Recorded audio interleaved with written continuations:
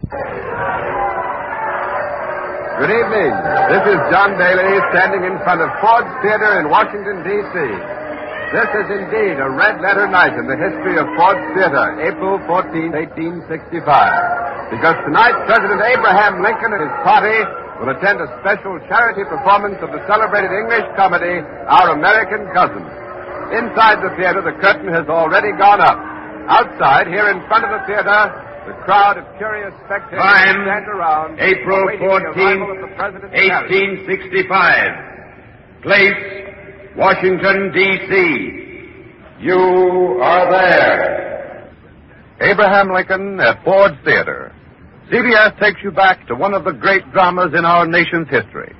All things are as they were then, except for one thing.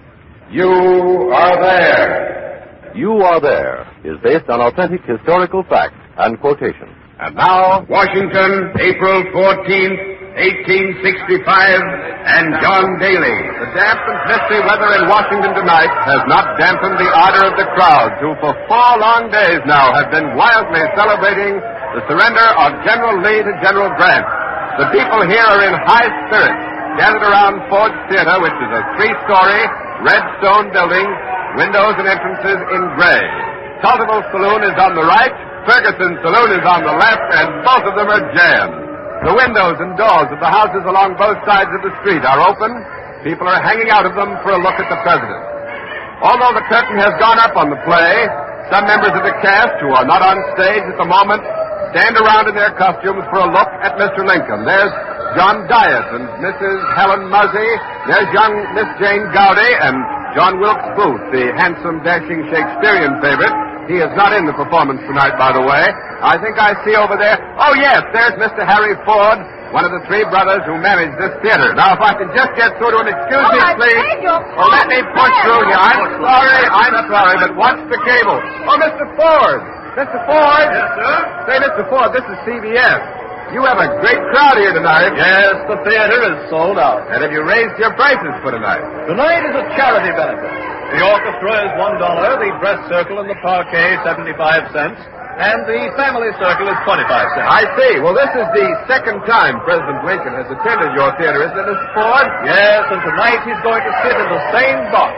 And I brought in that old rocker he likes. Oh, thanks very much, Mr. Not Ford. at all, anytime. Thanks a lot. I think I see John F. Parker, the president's personal guard, arriving on foot. Evidently, he's come ahead of the president to be on hand when Mr. Lincoln and his party arrive. Now, if I can get through to him, excuse me, please. Let me through. I'm sorry, but what's the cable? Mr. Parker! Oh, Mr. Parker! Say, Mr. Parker, this is CBS. Has the president's carriage left the White House? Is he on his way over here? Yes, he and Mrs. Lincoln left about ten minutes ago to pick up Major Rathbone and Miss Harris. Well, aren't General Grant and Mrs. Grant in the party? No, they were supposed to come, but General Grant left on the evening train for Burlington. Oh, that's too bad. We kind of hoped we'd see the general as well as Mr. Lincoln. Say, by the way, who is Miss Harris? Well, that's Miss Clara Harris, daughter of the senator from the state of Maine. Oh, yes, of course. And Major Rathbone is an attaché at the War Department. That's right. Excuse me, right. Yes, the president's carriage is just coming down 10th Street now. It has crossed F Street. It's going to pull up right here at the carriage platform. The president is smiling, bowing, doffing his high black silk hat to the crowd. And the band that's been waiting here for this moment is picking up its instruments and getting ready to play. Burns, the coachman, is slowing up the horses now. The carriage is stopping at the platform. Forbes, the footman, has jumped down to assist the party as they get out. Mrs. Lincoln and Miss Harris are getting out, and now the president, followed by Major Rathbone. The band wants to play a tune. They're asking the president what it is he wants to hear, but it will probably be Yankee Doodle, Marching Through Georgia, or Rally Round the Flag. The president just said something to the band leader, but in all of this racket, I just can't hear what he's saying. Oh, do you hear that? It's Dixie! Mr. Lincoln has asked the Union band to play the Confederate song, and they've responded with a will.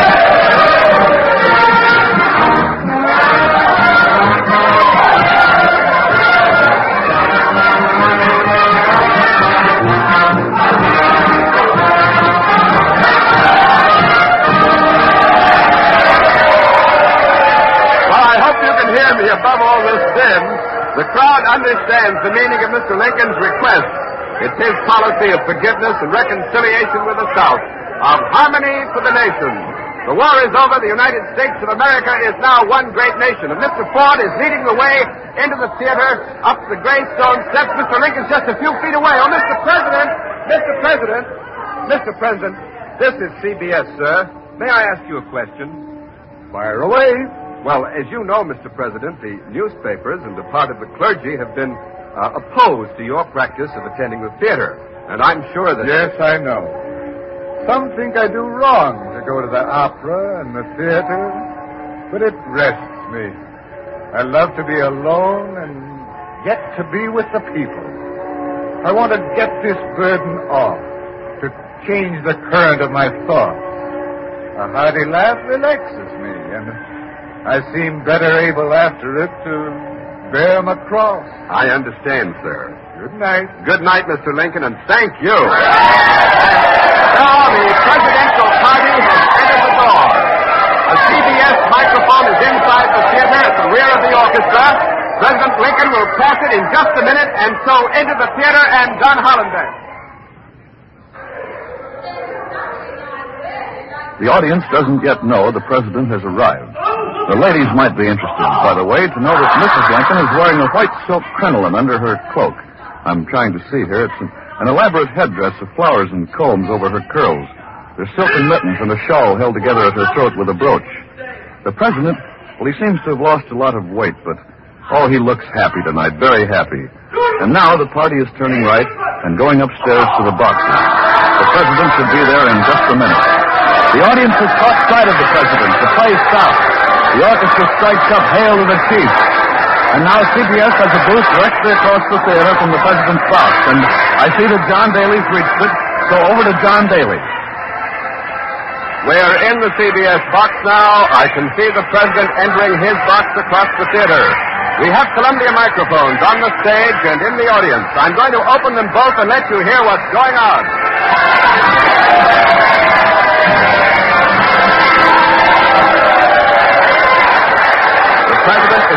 Box now. The audience is standing. Mr. Lincoln is acknowledging the welcome. Beaming, he nods his head and waves to the jam-packed crowd. And now, motioning towards the stage and the interrupted play, Mr. Lincoln sits down. The ovation continues, but following the president's lead, slowly, almost by sections, the audience resumes its seats and the play will resume in just a moment. Uh, our American Cousin by Tom Taylor, by the way, is an eccentric comedy, as many of you probably know. It's a popular favorite, been performed at least a thousand times.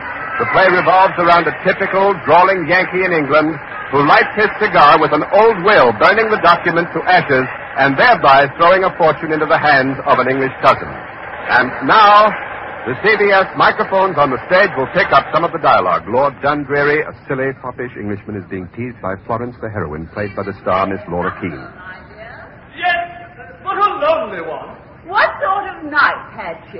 Oh, a very refreshing one. Thanks to the draft I've described for her. What? Have you been prescribing for Georgina, Lord Dundreary? Oh, yes, yes, quite. You see, I gave her a draught that cured the effect of the draught. and uh, that draught was a draught that didn't pay the doctor's bill.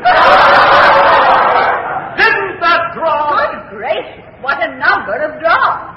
You almost had a game of draws. Uh, What's the matter? that was a joke, that was. Anyone can see the draft has been suspended. Miss Keene has very neatly injected a bit of the National Peace celebration into the play. With Lord Dundreary making so much of the word draft, Miss Keene threw in the line, anyone can see the draft has been suspended. And everyone in the audience knows that General Grant suspended the military draft this very morning. That was quite keen of Miss Keene, if I may be permitted the pun. Well, the President enjoyed that joke, too. He's smiling broadly. The play continues, and we'll take you again to the stage presently, but on this gala night, the audience is as interested in the presidential party as they are in the play. Although, because of the angle at which the box is set, they can only see Miss Harris and Major Rathbone. The presidential party is occupying boxes number seven and eight, the partition between them having been removed to make it roomier. The boxes are decorated with four flags. The president is seated in that old rocker that Mr. Ford told us about before. There's a chair at the door of the box in which John Parker, the guard, is sitting. He can't see the stage, but he can hear the actors' voices. Oh, evidently John Parker wants to see and hear, for he's now getting up from his chair and taking a seat in the dress circle with a clear view of the stage. Mrs. Lincoln is seated on the president's right, and from time to time she leans over on his arm and they exchange a few words. The president appears completely relaxed, and perhaps his mind is on other things. Perhaps he is looking at his wife and thinking, We've had a hard time since we came to Washington, but the war is over, and with God's blessing, we may hope for four years of peace and happiness, and then we'll go back to Illinois and pass the rest of our lives in quiet. But then it's more likely that Mr. Lincoln is just plain enjoying himself tonight, for the president is listening with obvious pleasure to Mrs. Mount Chessington, an English lady in the cast, and Harry Hawk, who is playing Asa Trenchard, the American cousin. Now, once again, our microphones on the stage pick up the play. Where, Mr. Trenchard? You are not used to the manners of good society, and that alone will excuse the impertinence of which you have been guilty. Mrs. Mount Chessington flounces off an aristocratic Dudgeon meeting a drawling Yankee alone on the stage. Don't know the manners of good society, eh? Well, I guess I know enough to turn you inside out, old gal. You sockdologizing old man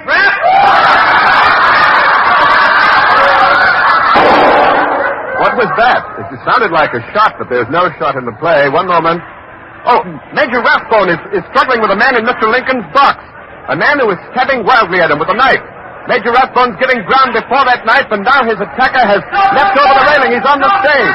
The man has risen. He's running across the stage.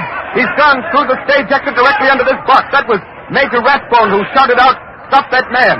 Someone in the audience has leapt over the footlights after him. Something has happened. Something is terribly wrong. This is not part of the play. Blue smoke is curling from President Lincoln's box. I can't see him because Miss Harris and the Major and Mrs. Lincoln are surrounding him. President Lincoln has been shot.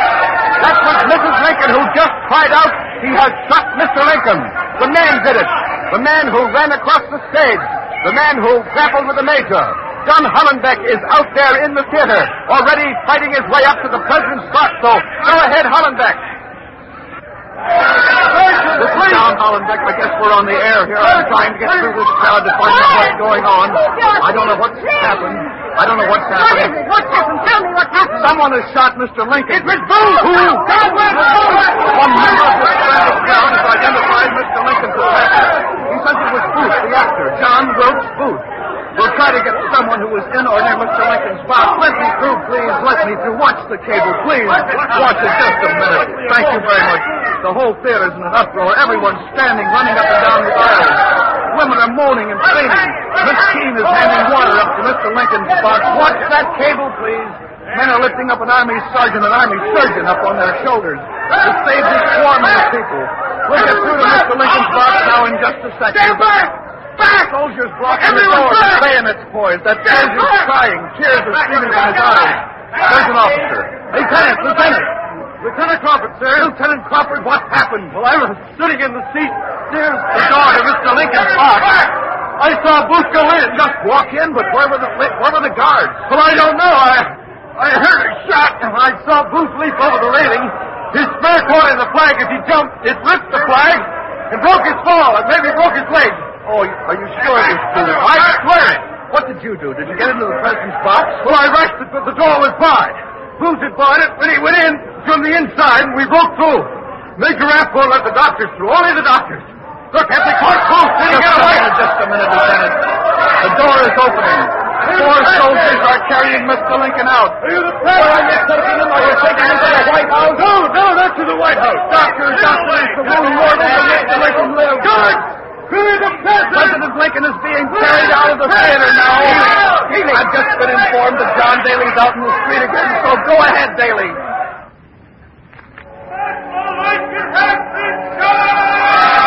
Two more soldiers have joined the four who are carrying the president out here into 10th Street. The street is jammed with people who have heard the news. It's a wild, awed, panic-stricken, swirling mob.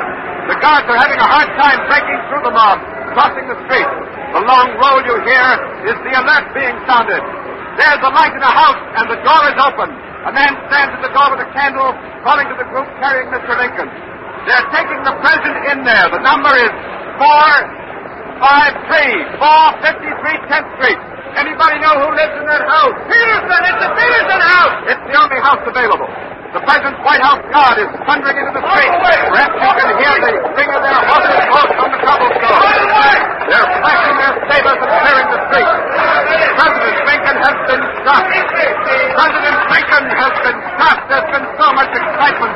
Only now the full horror of what has just happened at Ford Theater is beginning to dawn.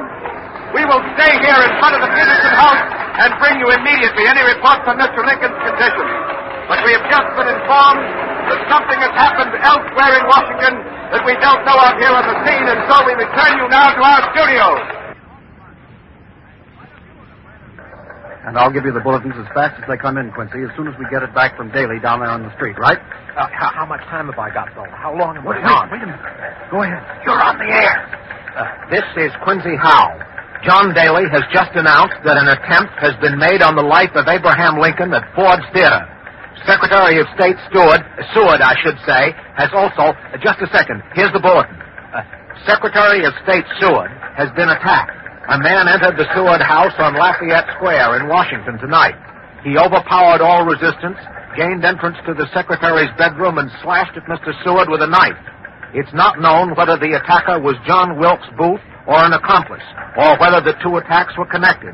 Now here's Ned Calmer with more bulletins. All Washington is in a state of panic this terrible night of April 14th, 1865.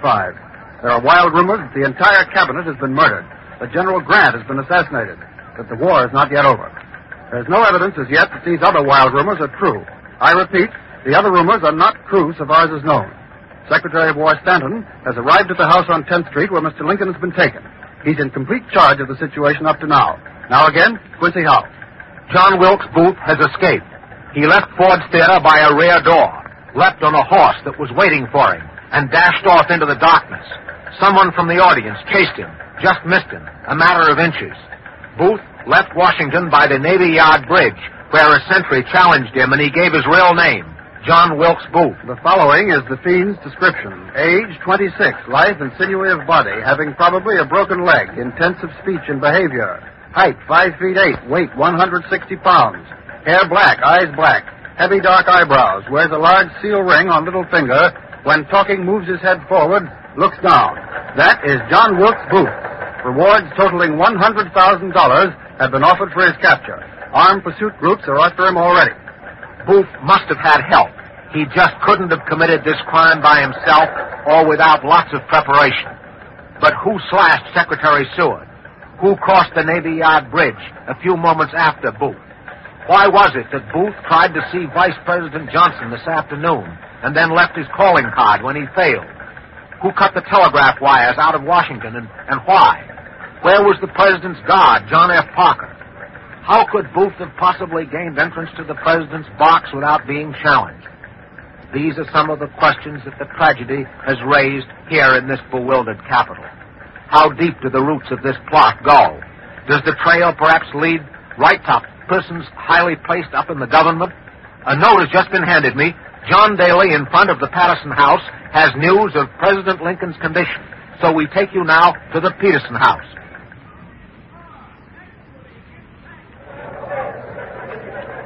This is John Daly in front of the Peterson House, where President Lincoln was carried after he was shot in Ford's Theater across the street. The president is sinking swiftly. He has not regained consciousness since Booth sent a single bullet fired at close range into the area behind the president's ear. The surgeons are discussing now the question of removing that bullet. Mrs. Lincoln is in there at the bedside, so is the president's son, Captain Robert Lincoln. Tad, the president's younger son, is at the White House. He has been assured that his father will live, but this was told the lad only to quiet him.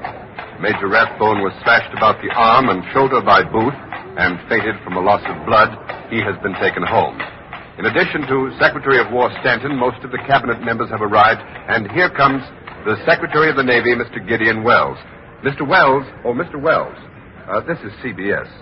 We know how great your grief is at this moment, sir, but there are so many questions still to be answered about this frightful tragedy. Will you help us? Who is this amazing madman, John Wilkes Booth? This lunatic, this unspeakable Judas, is a known secessionist who did not have the courage to don the uniform of his cause. But what possible motive, sir, do you think he could have had in committing this hideous crime? Only a mind deranged could have given birth to such an act. It may be that he thought to kindle again the dead spark of rebellion. If so, he is as great a fool as he is a villain.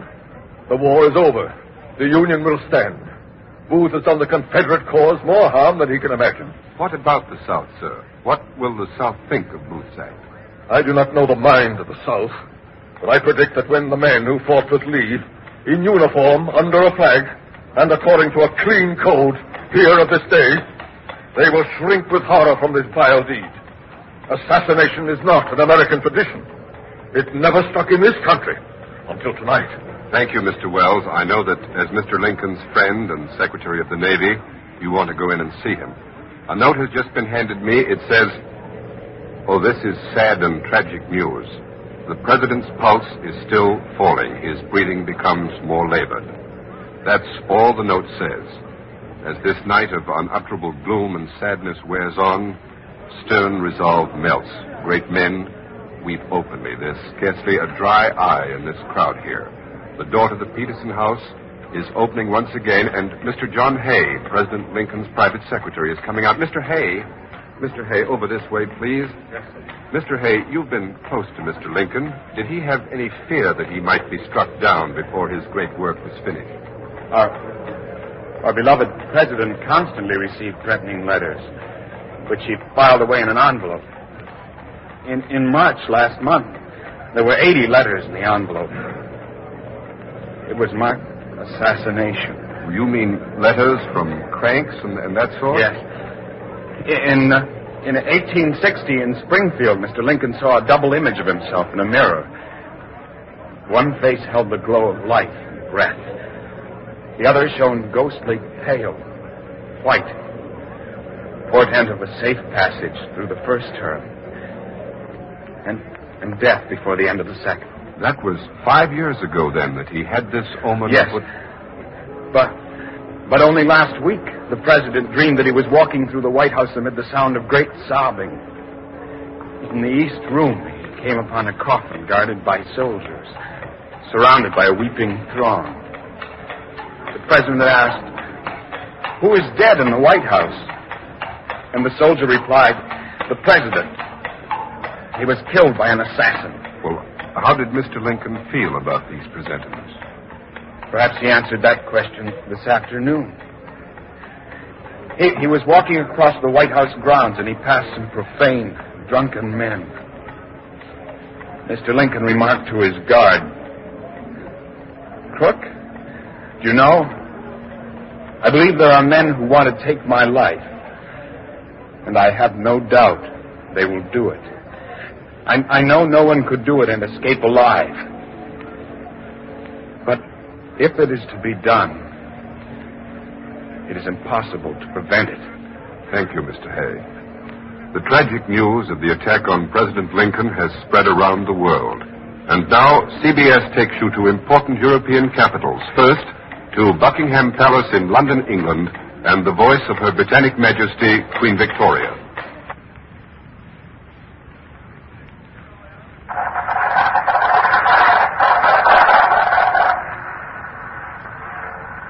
I speak to Mrs. Lincoln.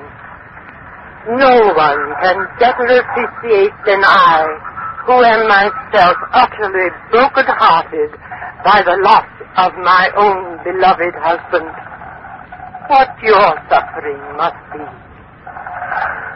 And I earnestly pray that you may be supported by him to whom alone the sorely stricken can look for comfort.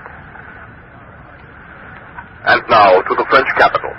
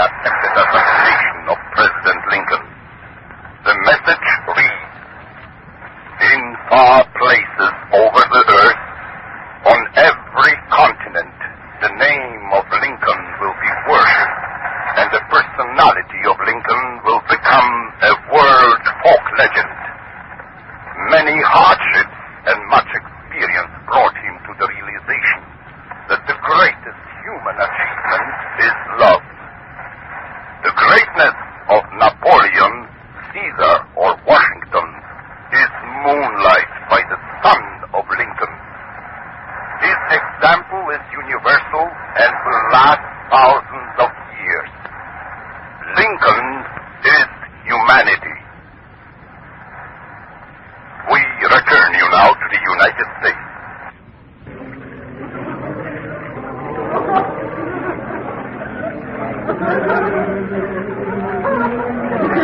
This is John Daly in front of the Peterson home on 10th Street.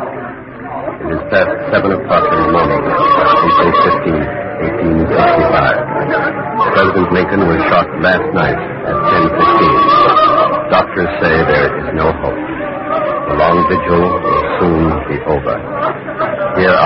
Peterson house, a cold rain is falling. The sky is dully gray.